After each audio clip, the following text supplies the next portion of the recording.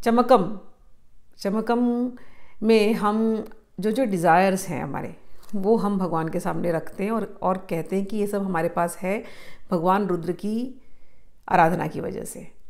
तो जिसको कहते हैं पॉजिटिविटी पॉजिटिव स्टेटमेंट्स बोलना आर्ट ऑफ़ मैनिफेस्टेशन आजकल हमारे यहाँ ये बजवर्ड्स हैं आर्ट ऑफ़ मैनिफेस्टेशन यूनिवर्स के साथ आप कुछ मांग लो तो यूनिवर्स आपको दे देगा।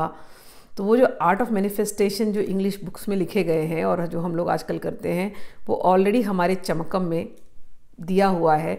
बट सिर्फ़ ये प्रॉब्लम थी कि हम लोगों को संस्कृत समझ में नहीं आता और हम लोग मंदिर में पंडित पंडित लोग बोलते हैं, पंडितों की सुन करके हमें और कुछ समझ में आता नहीं। हम केवल, हमें लगता है कि बस हाँ हाँ वो पंडितों ने कुछ बोल दिया, हमने कुछ कर दिया और हम निकल गए वहाँ से। लेकिन जब इसके अर्थों को समझते हैं तो वाह वाह ऐसा लगता है इतनी इतने पॉजिटिव स्टेटमेंट्स मतलब बार बार अपने आप को पॉजिटिव स्टेटमेंट्स बोलना है बार बार। और ऐसे बोलना है कि सब कुछ आपका है। जो कोई मैं जब रुद्रम चमकम पढ़ती थी और जब इसके अर्थ समझ में आने लगे मैं आपसे सच कहती हूँ माइंड ऐसे आ, ऐसे बोलते ना ब्रॉडन हो गया।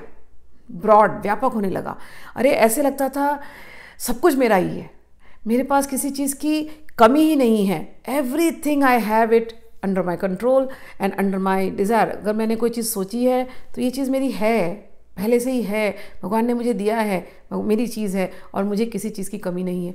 तो ये जो कमी की जो फीलिंग होती है हम लोगों के अंदर, अरे हमारे पास ये नहीं है, हमारे पास वो नहीं है, हमारे पास वो नहीं है, हम हमेशा रोते रहते हैं और नेगेटिव चीज़ें ही अपने जीवन में करते रहते हैं।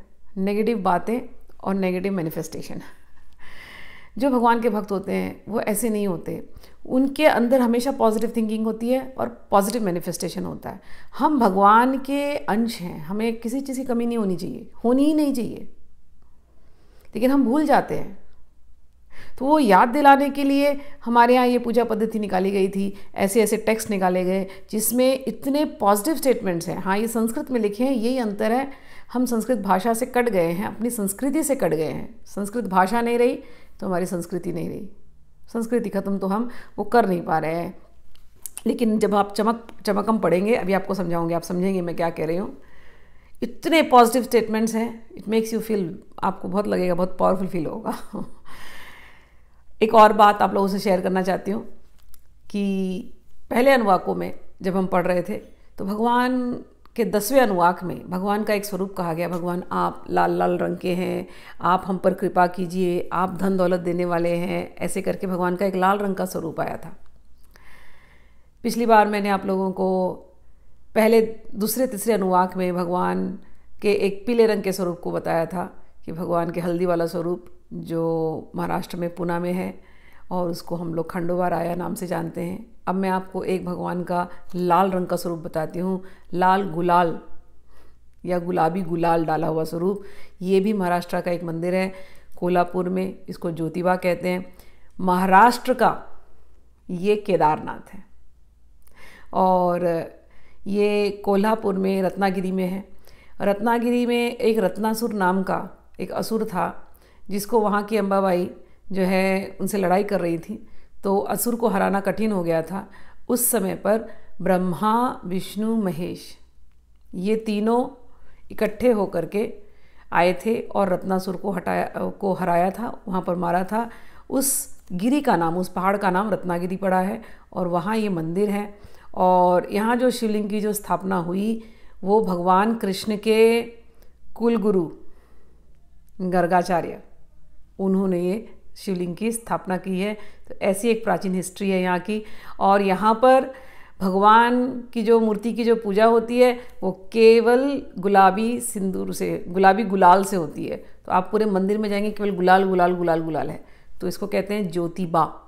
ज्योति यानी भगवान का ज्योति, ज्योतिर्मय स्वरूप, ज्योतिर्लिंग जैसा। और इसमें भगवान के तीनों जो स्वरूप है, वो यहाँ पर प्रस्तुत है मतलब प्रतिष्ठित है। चलिए। तो भगवान को जो हमने रुद्रम में, दो स्वरूप में देखा, एक पीले स्वरूप में, एक लाल स्वरूप में, यहाँ पर हम गुलाबी स्वरूप में देख रहे हैं, गुलाबी और लाल एक ही एक ही रंग के फैमिली हैं, ठीक है? अब हम लोग चमक प्रश्न पे चलते हैं। चमकम, अध्याय एक, अनुवाक एक। ओ मग्ना विष्णु सजो ओ मग्ना विष्णु सजोषे मावर्धतुं वां गिरः दुम्नैर्वाजेभिरागतं वाजश्च मे प्रसवश्च मे प्रयतिश्च मे प्रसिद्धिश्च मे धीतिश्च मे क्रतुश्च मे स्वशश्च मे श्लोकश्च मे श्रावश्च मे श्रुतिश्च मे ज्योतिश्च मे सुवशश्च मे प्राणश्च मे अपानश्च मे व्यानश्च मे असुषश्च मे चित्तं च मे अधीतं च मे वक्तं च मे वाक्च मे मनश्च मे चक्षुश्च मे श्रोत्रं च मे दक्षश्च मे बलं च म ओजश्च मे सहश्च म आयुश्च मे जरा च म आत्मा च मे तनुश्च मे शर्मा च मे वर्मा च मे अंगानी च मे स्थानी च मे परुंगश परुंगशी च मे शरीराणी च मे। तो जब हम चमक प्रश्न पढ़ते हैं तो चमक में पहला ही लिखा है, ओम अग्ना विष्णु। कह रहे हैं, इस अग्नि के रूप में भगवान सूर्य हैं और साक्षात विष्णु, वो भी यहाँ प्रकट हैं यज्ञ के रूप में। जो भी हम यज्ञ करते हैं, बिना विष्णु को दिए वो यज्ञ संपूर्ण नहीं होता। कायेन वाचा मनसेन्द्रियर्वा बुद्ध्यात्मना वा प्रकृति स्वभावात् करोमि यद्यत् सकलम परस्मै नारायणायेति समर्पयामी। किसी भी यज्ञ में हमने जो मन से, क्रिया से, वाणी से जो भी हम करते हैं, वो यज्ञ की तरह करना चाहिए और नारायण को समर्पित करना चाहिए तो ही वो यज्ञ सफल होता है। एक तो ये फ़िज़िकल यज्ञ जिसमें आप संविधा डालते हो, हमेशा।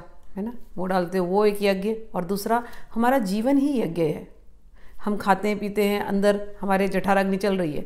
वो खाना हम ना खाएँ, वो वो भगवान को भोग लग रहा है। हमारे हृदय के अंदर बैठे भगवान को भोग लग रहा है। हमारी इंद्रियाँ भगवान के भगवान के सेवा में लगे तो वो यज्ञ है। हम सांस ले रहे हैं। सांस लेना ये यज्ञ बन जाए। हर सांस में भगवान का हम नाम ले, जीवन यज्ञ में हो जाए। तो जीवन जो हम जी रहे हैं, हम यज्ञ की तरह जिए। जो कर्म हम करते हैं, हम भगवान को समर्पित करें। ये गीता में भगवान ने कहा कर्मयोग की फिलॉसफी है। सारे कर्म भगवान को समर्पित कर दो। यद करोशी यद जोशी यद अशनाशी कौनते यह तत्कुरुष मद अर्पणम जो भी तुम खाते हो, जो भी तुम तुम करते हो, जो भी तुम, यद ददासी जो तुम दान में देते हो तत्कुरुष्व मम मद अर्पणम वो सारे के सारे तुम मुझे दे दो, ये भगवान श्री कृष्ण ने कहा है, गीता में। तो यज्ञ का अर्थ हुई, अर्थ ही है कि हम भगवान विष्णु को दे दें सब कुछ। और वहाँ जो अग्नि स्वरूप में जो बैठे हैं, वो साक्षात रुद्र हैं। हमने पढ़ा है अनुवाकों में, पहले ही अनुवाक में वही बात कह रहे हैं कि आप अग्नि स्वरूप में हैं, आप तेज स्वरूप में हैं, आप सूर्य स्वरूप में हैं, शिव जी को कह रहे हैं, है ना? तो वो शिव जी जो अग्नि स्वरूप में है और वो विष्णु जो यज्ञ स्वरूप में यहाँ पर हैं, आपको प्रणाम है। आप दोनों प्रसन्न होइए। ये पहले चमक में पहला स्टेटमेंट है। आप दोनों, भगवान शिव और भगवान विष्णु, हमसे प्रसन्न होइए और ये जो अब हम स्तुति करने वाले हैं, जो भी यज्ञ करने वाले हैं ये आप दोनों की प्रसन्नता के लिए कर रहे हैं। आप दोनों आनंदित होइए। आप दोनों प्रसन्न होइए। हे भगवान, और हमें, हम पर कृपा कीजिए। अपनी शक्ति हमको दीजिए कि हमारा यज्ञ जो है, वो अच्छे से संपन्न हो जाए।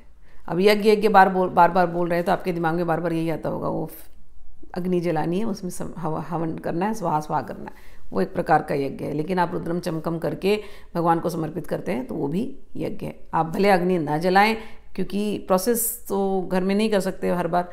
तो ये पढ़ करके भगवान को केवल दिया जला दीजिए फल फूल खिला दीजिए, उनको ऑफ़र कर दीजिए, जल ऑफ़र कर दीजिए, पंचामृत ऑफ़र कर दीजिए दैट्स इट